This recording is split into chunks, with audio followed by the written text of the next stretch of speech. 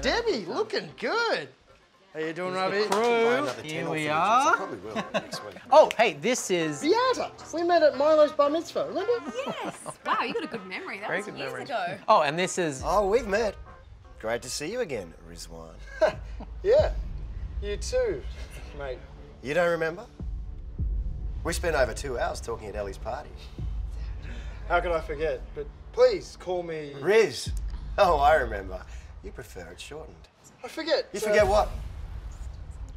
I forget. Do you like to shorten your name too? Oh, I think it's short enough already. Don't you? Just give me a moment, please. Hey, Gemma, you gotta help me out, man. I can't remember a guy's name. You never forget people's names. You gotta help me, please, man. Okay. All right, calm down. I got your back. hey, I'm back. Um, you too, man. Gemma! God, I- haven't seen you in so long. Oh, buddy.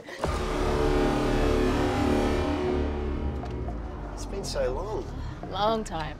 I think he's choking. Who's choking?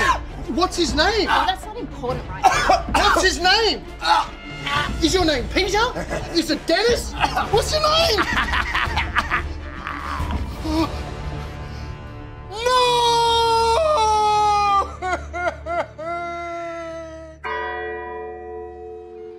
Today, we say farewell to a mate.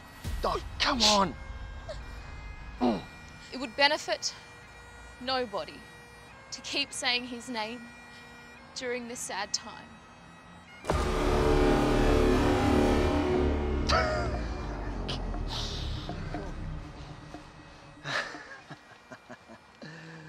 It's you and me now, mate. You bastard! Oh, it was Bob. It was Bob.